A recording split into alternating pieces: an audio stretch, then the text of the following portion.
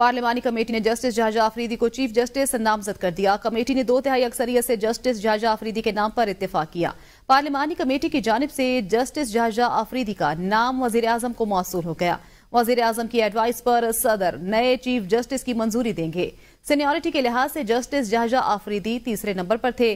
Seniority में justice Mansoor Ali Shah पहले justice Munib Akhtar दूसरे नंबर पर थे। पार्लिमानी कमेटी में नौ अरकान शरीक हुए। आठ अरकान ने जस्टिस जहाजा आफरीदी के नाम पर इतफाक किया। एक ने मुखालफत की। पाकिस्तान तहरीक इंसाफ के अरकान इजलास में शरीक नहीं हुए। आपको बताएँ कि चीफ जस्टिस की तैनाती का मामला है। तहरीक इंसाफ के अरकान इजलास में शरीक नहीं हुए।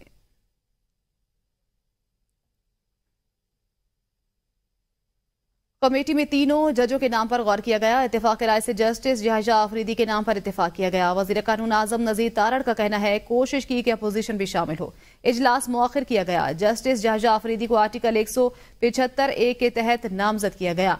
डेढ़ घंटे तक तीनों जजेस पर तफसील से बहस हुई। इन कैमरा इजलास था, बता नहीं सकता। किसने मुखालफत की, हलफ पर हूँ, कमेटी में होने वाली गुफ्तगु बयान नहीं कर सकता। टू थर्ड मेंबरशिप जो रिक्वायरमेंट है आइन की। दो तिहाई अक्सरियत से जस्टिस शाहिया आफरीदी साहब की नॉमिनेशन भेजी है वज़ीर आज़म साहब को। बहुत शुक्रिया। वज़ीर दिफा ख्वाजा आसिफ कहते हैं दो तिहाई अक्सरियत से जस्टिस जहाजा आफरीदी को नामजद किया गया जिन जजेस को चीफ जस्टिस नहीं बनाया गया वो भी काबिल एहतराम है। तीनों सीनियर जजेस के प्रोफ़ाइल में बहुत कम फ़र्क था। जो जजेस नामजद नहीं हुए, वो भी अदलिया में ही रहेंगे। हमने तय किया कि कमेटी की बहस को बाहर नहीं लाएँगे। एक वोट जस्टिस जायजा आफरीदी की मुखालफत में आया। जिन जजेस को चीफ जस्टिस नहीं बनाया, वो वो भी काबिल एहतराम है। राना सनाउला कहते हैं, जस्टिस जहाजा आफरीदी किसी ग्रुप बंदी का हिस्सा नहीं रहे हैं। जस्टिस जहाजा ने खतूत, इख्तलाफी नोट से इन चीज़ों से खुद को दूर रखा। वकला का एक ग्रुप जो पीटीआई हिमायती है, तहरीक की बातें कर रहा है। बीएनपी के सेनेटर्स ने अपनी मर्ज़ी से वोट दिया, किसी ने मजबूर नहीं किया। बीएनपी के सेनेटर्स ने जमीर के मुताबिक वोट दिया और अख्तर मेंगल को भी राज़ी किया। लॉबी में बीएनपी सेनेटर्स अख्तर मेंगल से बात करना चाहते थे, उन्होंने इनकार किया। बीएनपी के सेनेटर्स ने अपनी मर्ज़ी से वोट दिया, किसी ने मजबूर नहीं किया। राना सनावला ने कहा कि जस्टिस जहाजिया ने खतूत, इख्तलाफी नोट्स, इन चीज़ों को से खुद को दूर रखा। हमें वकला और पीटीआई के वकला में फ़र्क को सामने रखना चाहिए, एहसन इकबाल कहते हैं। जो बहरान चल रहा है, उसमें स्टेटस मैनशिप की ज़रूरत है। जस्टिस जहाजा आफरीदी को चीफ जस्टिस पाकिस्तान नामजद कर दिया गया। सीनियोरिटी पर आने वाले चीफ जस्टिस भी मुल्क के साथ खिलवाड़ कर गए। हाई कोर्ट में भी सीनियोरिटी के बगैर चीफ जस्टिस आते हैं। एतराज़ नहीं होता। जस्टिस जहाजा आफरीदी की शख्सियत और क्यादत पर सबका इतफाक था। कमेटी की कार्रवाई इन कैमरा रखने में मसलहत है। एहसन इकबाल ने कहा कि कमेटी की कार्रवाई इन कैमरा रखना में मसलहत है। पाकिस्तान के उनतीसवें चीफ जस्टिस काजी फाजीसा की 25 अक्टूबर को अपने से अपने अहदे से रिटायरमेंट के बाद उनकी जगह।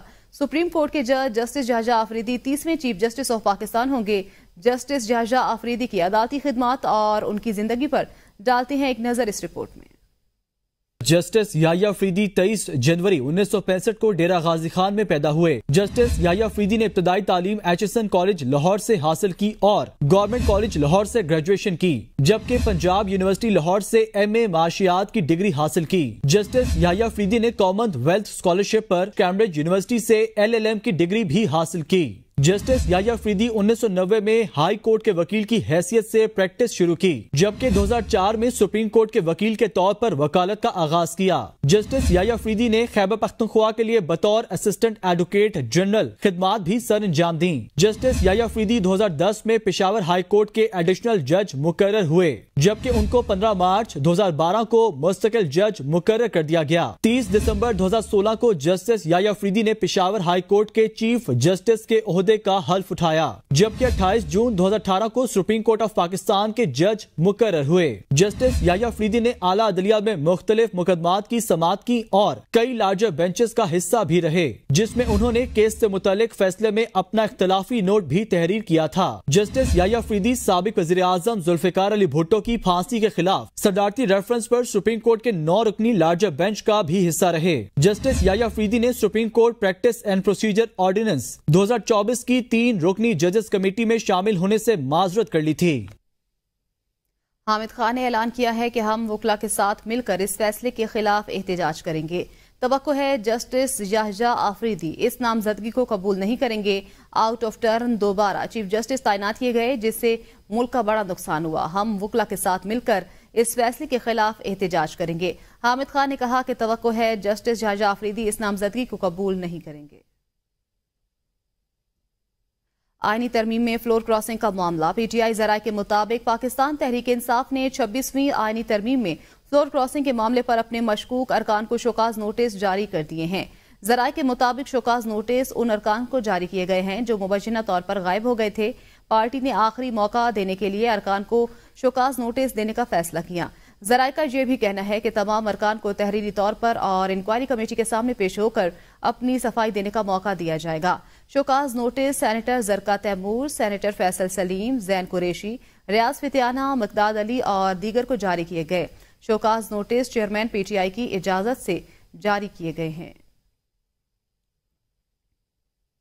हमारी स्पेशल कमेटी का फैसला था कि इजलास का बायकॉट करना है। कमेटी में नाम इसलिए दिए गए कि कल कोई बात ना कर सके। अपोजिशन लीडर उमर अजूब कहते हैं, स्पेशल कमेटी मेरे कहने पर ही बनाई गई। कमेटी उस वक्त बनाई गई जब हमारे एमएनएस को उठाया गया।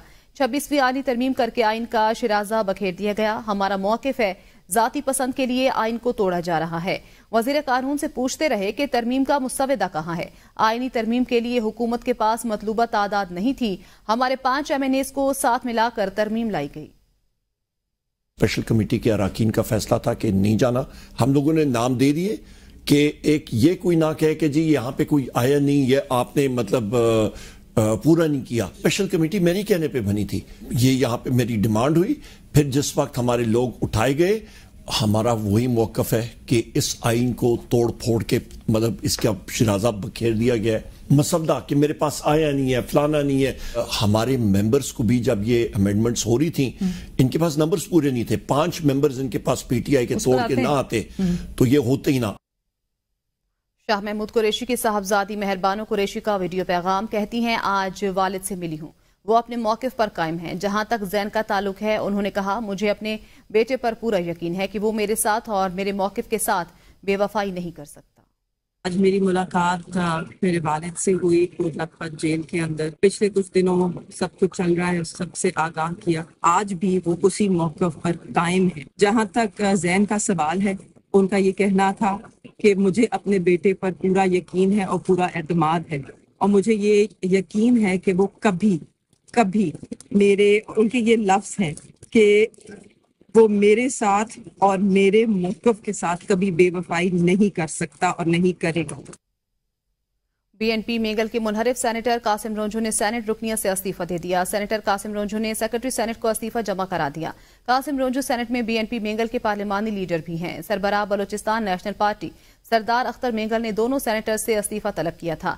बीएनपी मेंगल के सेनेटर नसीमा एहसान और कासिम रोंझू ने आयनी तरमीम के हक में फ्लोर क्रॉस किया था। कासिम रोंझो ने अपनी प्रेस कॉन्फ्रेंस में कही गई बातों की तरदीद कर दी। वीडियो बयान में कहा, पार्टी सरबरा और उनके कारकुनों ने ज़बरदस्ती प्रेस कॉन्फ्रेंस कराई। प्रेस कॉन्फ्रेंस में ज़बरदस्ती के अल्फाज बयान किए, जो लिखकर दिया गया था। प्रेस कॉन्फ्रेंस में जो गुफ्तगु की सब झूठ था, मन घड़त बातें थी। ज़बरदस्ती के अल्फाज थे जो आगे लिखे हुए थे कि मुझे घर से उठाया गया या क्या किया और ये सारे मच्छर वच्छर ये सब कुछ उन्होंने लिख के आगे मुझे रखे हुए थे, वो मैं पढ़ रहा था। तो ये एक टोटल झूठ और फेब्रिकेटेड है। मैं घर पे ही मौजूद था पंद्रह दिन से, घर पे कोई ऐसा बात है ही नहीं जो ये कहलवाई गई है मुझसे। विफाकी वज़ीर दाखिला, मोहसिन नकवी का दौरा तुर्किया वज़ीर दाखिला ने इस्तनबुल में बैन अवी एक्सपो में शिरकत की और दीगर ममालिक के मंदूबीन के हमरा इंटरनेशनल एक्सपो 2024 का अफ्ताह किया। विफाकी वज़ीर दाखिला मोहसिन नकवी का एक्सपो आमद पर तुर्किया के आला हुकाम ने खैर मकदम किया। विफाकी वज़ीर दाखिला मोहसिन नकवी की chief of the Turkish general staff general Metin Gurak से मुलाकात हुई। उन्होंने जनरल मेटन गोरख को बैन अवी एक्सपो के इनका पर मुबारकबाद दी। जनरल मेटन गोरख ने इंटरनेशनल एक्सपो में पाकिस्तान की नुमाइंदगी पर विफाकी वज़ीर दाखिला मोहसिन नकवी का शुक्रिया अदा किया। विफाकी वज़ीर दाखिला मोहसिन नकवी ने एक्सपो में लगाए पाकिस्तान ऑर्डिनेंस फैक्ट्रीज के स्टॉल का भी मुआयना किया। उन्होंने कहा कि इस्तंबुल में इंटरनेशनल एक्सपो में जदीद मशीनरी और आलात देखकर खुशी हुई। मुल्क भर में वोटर्स की तादाद तेरह करोड़, पंद्रह लाख, इकतीस हज़ार छह सौ पैंतालीस हो गई। इलेक्शन कमीशन ने मुल्क में वोटर्स का डाटा जारी कर दिया। इलेक्शन कमीशन की जानब से जारी डाटा के मुताबिक मुल्क भर में वोटर्स की तादाद तेरह करोड़, पंद्रह लाख, इकतीस हज़ार छह सौ पैंतालीस हो गई। मुल्क में मर्द वोटर्स की तादाद सात करोड़, सात लाख अठारह हज़ार। सात सौ तेईस जबकि खवतीन वोटर्स की तादाद छह करोड़ आठ लाख बारह हज़ार नौ सौ बाईस है। करतारपुर राहदारी माहे की तजदीद का ऐलान। वजारत खारजा ने ऐलान किया है कि पाकिस्तान और भारत के दरमियान गुरुद्वारा दरबार साहब करतारपुर नारोवाल, पाकिस्तान में यात्रियों की सहूलत के माहदे की तजदीद कर दी गई है। ये माहदा मजीद पाँच साल के लिए बढ़ा दिया गया है। करतारपुर राहदारी माहदा 24 अक्टूबर 2019 को पहली बार पाँच साल के लिए दस्तखत किया गया था। इसकी इब्तदाई मुद्दत 24 अक्टूबर 2024 को मुकम्मल हो रही है। इस माहदे की तजदीद पाकिस्तान के बैन मजाहब हमाहंगी और पुरान बकाए बाहमी के अज़म की अक्सी करती है। माहदा भारतीय यात्रियों को वीज़ा फ्री रसाई फराहम करता है ताकि वो बाबा गुरु नानक सिख मत के बानी की आखिरी आरामगाह गुरुद्वारा दरबार साहब करतारपुर की जियारत कर सकें। राहदारी के आगाज़ से लेकर अब तक हज़ारों अकीदतमंद इस मुकदस मकाम की जियारत कर चुके हैं। नेपरा ने के इलेक्ट्रिक की जनरेशन टैरिफ दरखास्त पर फैसला जारी कर दिया। तर्जुमान के इलेक्ट्रिक के मुताबिक ये फैसला सार्फिन के बिलों में बिजली की कीमतों को मुतासर नहीं करेगा। तर्जुमान के इलेक्ट्रिक के मुताबिक नेपरा की तरफ़ से मंजूर शुदा टैरिफ ढांचे में कुछ तब्दीलियाँ शामिल हैं। मंजूर शुदा टैरिफ का तफसीली जायजा लिया जा रहा है। तर्जमान के इलेक्ट्रिक के मुताबिक डिस्ट्रीब्यूशन, ट्रांसमिशन और सप्लाई टैरिफ को हतमी शक्ल देने के लिए सरगर्म है। कि इलेक्ट्रिक का सत्तर फ़ीसद नेटवर्क लोड शेडिंग से मुस्तना है। कि इलेक्ट्रिक ने कराची के पावर इंफ्रास्ट्रक्चर में चार अरब डॉलर से जायद की सरमाकारी की है। वज़ीर खजाना मोहम्मद औरंगज़ेब ने वाशिंगटन में जी ट्वेंटी फोर वजरा और गवर्नर्स के अजलास खिताब में मौसमियाती तब्दीलियों और आबादी की बढ़ती हुई शरह पर काबू पाने के लिए इंसानी तरक्की के लिए कार फरमा इदारों की मुश्तर कोशिशों पर ज़ोर दिया। वज़ीर खजाना ने तरक्की पजीर ममालिक बिलखसूस पाकिस्तान में बच्चों की जहनी और जिसमानी नशोनुमा में कमी जैसे मसाइल से निमटने के लिए बेहतर इश्तराक की ज़रूरत व अहमियत पर रोशनी डाली। वज़ीर खजाना ने माली साल दो हज़ार चौबीस पच्चीस के दौरान पाकिस्तान के जी ट्वेंटी फोर ब्यूरो के दूसरे नायब सदर बनने पर अपने बयान में तरक्की पजीर ममालिक पर कर्ज के बढ़ते हुए बोझ जैसे कलीदी मसाइल के हल पर ज़ोर दिया। इसके अलावा उन्होंने बदलते हुए मौसमी हालात के खतरात के तदारक और आलमी मालियाती इदारों में तरक्की पजीर ममालिक की नुमाइंदगी बढ़ाने की ज़रूरत को भी उजागर किया।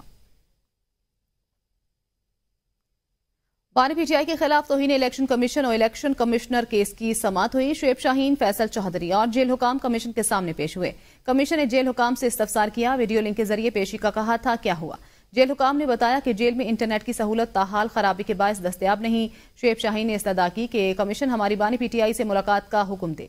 इलेक्शन कमीशन ने जेल में इंटरनेट सर्वे से मुतलक पीटीए से रिपोर्ट तलब कर ली है। इस्लामाबाद हाईकोर्ट में एफआईए ने तोशाखाना टू केस में बानी पीटीआई की अहलिया। बुशरा बीबी की दरखास्त जमानत की मुखालफत कर दी। इस्लामाबाद हाईकोर्ट में बुशरा बीबी की तोशाखाना केस में जमानत की दरखास्त पर समात हुई। एफआईए प्रोसिक्यूटर ने बुशरा बीबी की दरखास्त जमानत की मुखालफत की। बैरिस्टर सलमान सफदर ने दलाल मुकम्मल करते हुए कहा यह केस वादा माफ़ गवाह के बयान पर खड़ा है। उन्होंने कहा कि तीन साल, तीन माह की ताखिर से यह मुकदमा बनाया गया। इकतीस जनवरी 2024 को नैब के दूसरे रेफरेंस में बुशरा बीबी को सजा दी गई। तीन साल में गिरफ़्तार किया। न ही बुशरा बीबी के खिलाफ कोई क्रिमिनल केस बनाया गया। दलाइल मुकम्मल होने के बाद अदालत ने समात मुलतवी कर दी। बानी पीटीआई की जाती मौलद से मेडिकल चेकअप की दरखास्त पर समात हुई। इस्लामाबाद हाईकोर्ट ने सुप्रीडेंडेंट अडियाला को कल के लिए नोटिस जारी कर दिए। इस्लामाबाद हाईकोर्ट के जस्टिस मियाँ गुलहसन औरंगज़ेब ने बानी पीटीआई की दरखास्त पर समात की। बानी पीटीआई की जानब से खालिद यूसुफ एडवोकेट अदालत के सामने पेश हुए। समात शुरू हुई तो अदालत ने एडवोकेट जनरल ऑफ़िस से मजाज अफसर को तलब कर लिया। वक्फे के बाद समात के दौरान स्टेट काउंसिल ने अदालत को बताया कि बानी पीटीआई का तीन दफ़ा एक दिन डॉक्टर चेकअप करता है। पंद्रह अक्टूबर को पिम्स का मेडिकल बोर्ड गया, उसने भी चेकअप किया। जस्टिस मियाँ गुल हसन औरंगज़ेब ने इस्तफसार किया, आप लोगों को फ़र्क क्या पड़ता है? आप लोगों का इशू इसमें क्या है? डॉक्टर फैसल शौकत खानम से हैं, उनके चेकअप में हर्ष क्या है? कल के लिए नोटिस कर रहा हूँ, कल फैसला करूँगा। सिंध हाईकोर्ट ने खालिद बिन वलीद रोड पर रिहायशी इलाके में कमर्शियल सरगर्मियों के खिलाफ दरखास्त पर डायरेक्टर एसबीसी ए को जाती हैसियत में तलब कर लिया। सिंध हाईकोर्ट में खालिद बिन वलीद रोड पर रिहायशी इलाके में कमर्शियल सरगर्मियों के खिलाफ दरखास्त पर समात के दौरान अदालत ने अहकाम के बावजूद तजारती सरगर्मियाँ खत्म न करने पर बरहमी का इजहार किया। जस्टिस ज़फ़र अहमद राजपूत ने रिमार्क्स में कहा, किसी का क्लिनिक सील करना हो तो एसबीसीए 24 घंटों में कार्रवाई कर लेता है। इमारत के मालिक को 24 जनवरी को नोटिस दिया, अभी तक सील क्यों नहीं किया? दसवां महीना चल रहा है एसबीसीए ने सोसाइटी में कमर्शियल सरगर्मियाँ क्यों नहीं रोकी? अदालत ने आंदा समात पर डायरेक्टर एसबीसीए को जाती हैसियत में तलब कर लिया। लाहौर हाईकोर्ट में Khalil Rehman Qamar honey trap case की मुलजिमा आमना अरूज और यासर अली की दरख्वास्त जमानत पर समात हुई। अदालत ने खलील रहमान कमर के वकील को तैयारी की मोहलत देते हुए समात मुलतवी कर दी। लाहौर हाईकोर्ट में ड्रामा निगार Khalil Rehman Qamar honey trap case की मुलजिमा आमना अरूज और यासर अली की दरख्वास्त जमानत पर समात हुई। अदालत ने जमानतों पर समात बगैर कार्रवाई तीस अक्टूबर तक मुलतवी कर दी। खलील रहमान कमर के वकील की जानब से तैयारी के लिए मजीद मोहलत तलब की गई। अदालत ने खलील रहमान कमर के वकील की इस्तदा मंजूर करते हुए समात मुलतवी कर दी। जस्टिस शहबाज रिजवी और जस्टिस तारिक नदीम पर मुश्तमिल दो रुकनी बेंच ने दरखास्तों पर समात की। अमरीकी रियासत अलास्का में नॉर्दर्न लाइट्स का दिल मोह लेने वाला नज़ारा। हर तरफ़ सब सुर्ख, ऑरेंज लाइट्स जगमगाती रही। बुलंद पहाड़ों सब्जाजारों और वादियों में हर तरफ़ फैली नॉर्दर्न लाइट्स ने पूरे इलाके में तिलिस्माती माहौल पैदा कर दिया। लाइट्स का दिलकश नज़ारा देखने के लिए लाखों से अलास्का में पहुँच गए। तीन रोजा ब्रिक्स सरबराही कॉन्फ्रेंस रुकन ममालिक के सरबराह रूसी शहर काजान पहुँच गए। इफ्ताही इजलास बुध को होगा। कॉन्फ्रेंस 24 अक्टूबर तक जारी रहेगी। ब्रिक्स में पाकिस्तान की रुकनीत का मामला तवील अरसे से जेर अल्तवा है। ब्रिक्स सोलहवीं सरबराही कॉन्फ्रेंस में शिरकत के लिए चीन, रूस, ईरान भारत जनूबी अफ्रीका, मिस्र, ब्राज़ील, एथोपिया और मुतहदा अरब इमारात के सरबराहानी हुकूमत रूसी शहर काजान पहुँच चुके हैं। फलस्तीनी सदर महमूद अब्बास भी खसूसी दावत पर कॉन्फ्रेंस में शरीक हैं। कॉन्फ्रेंस के दौरान मालियाती निज़ाम पर अमरीकी अजारादारी के खात्मे, मुतबादल करेंसी और रुकन ममालिक के दरमियान मुख्तलिफ़ शोबों में ताउन बढ़ाने के हवाले से तबादला ख्याल किया जाएगा। कॉन्फ्रेंस की साइड लाइन पर मुख्तलिफ़ सरबराहान हुकूमत के दरमियान दो तरफा मुलाकातें भी होंगी। भारतीय वज़ीर अजम नरेंद्र मोदी और चीनी सदर शी जिनपिंग के दरमियान होने वाली मुलाकात को इंतहाई अहमियत दी जा रही है। कहा जा रहा है कि मुलाकात के बाद दोनों सरबराहान बाहमी सरहदी तनाज़ात के खात्मे का ऐलान कर सकते हैं। पाकिस्तान भी ब्रिक्स की रुकनीत का उम्मीदवार है। खेलों के मैदान से खबर देंगे, पाकिस्तान और इंग्लैंड के दरमियान टेस्ट सीरीज़ का आखिरी और फैसला कुन मैच दोनों टीमों की तैयारियाँ जारी हैं। पाकिस्तान और इंग्लैंड की टीमों ने रावलपिंडी क्रिकेट स्टेडियम में बैटिंग, बॉलिंग और फील्डिंग की जमकर प्रैक्टिस की। नायब कप्तान सऊद शकील कहते हैं कि टीम का हौसला बुलंद है। दूसरे टेस्ट मैच की हिकमत अमली के साथ ही मैदान में उतरेंगे। दोनों टीमों के दरमियान तीसरा टेस्ट मैच 24 अक्टूबर से खेला जाएगा। अब तक के लिए इतना ही। देखते रहिए एपीएन न्यूज़